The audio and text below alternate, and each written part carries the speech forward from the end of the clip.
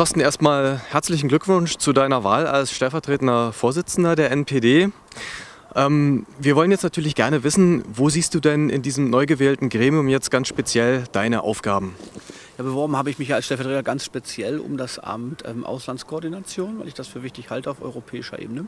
Wir werden in den nächsten Jahren erleben, dass man überhaupt nur noch zum Beispiel zur Europawahl antreten kann, wenn man europäische Partner hat. Die muss man auch im Boot halten. Dazu braucht man Gewicht.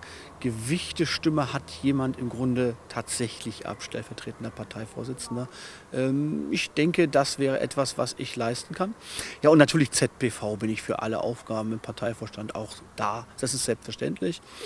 Ähm, ich hoffe, dass sich die Partei jetzt auch wieder etwas mehr öffnet zu unseren Kameraden, zum Beispiel vom Dritten Weg oder die Rechte oder Vorfeldorganisationen wie Tygida oder wie auch immer, wenn sie denn das überhaupt wollen. Und dass wir versuchen, neben der Alternativen für Deutschland eine große, breite, rechte nationale Bewegung zu installieren, die kameradschaftlich zusammenhält.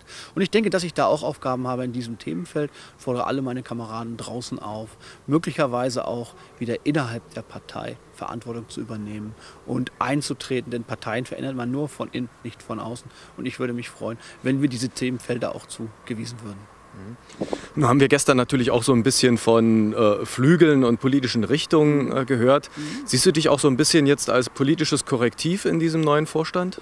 Ja, offen gestanden ist das tatsächlich so. Ja. Ich möchte ähm, im Grunde tatsächlich, dass wir eigentlich mal überlegen sollten. In der Partei gibt es eben verschiedene politische Strömungen. Das ist normal und auch gut so. Ob man denen nicht ein Gesicht verleiht. Also ich könnte mir vorstellen, zum Beispiel von einem völkischen Flügel das Gesicht zu sein, wenn die Kameraden das wünschen. Ich könnte mir aber auch vorstellen, dass vielleicht von einem nationalliberalen Flügel äh, der äh, Kamerad Franz das Gesicht sein könnte, wenn er sich denn so überhaupt verortet. Das weiß ich alles noch nicht. Denn ich glaube, nur wenn man miteinander redet und nicht übereinander, kommt man zu einer tollen Geschichte. Und wir müssen miteinander reden und dann müssen wir gemeinsam ringen um das, was wir dann letztendlich tun. Ich glaube, das würde der Partei gut tun, eine vernünftige Diskussionskultur.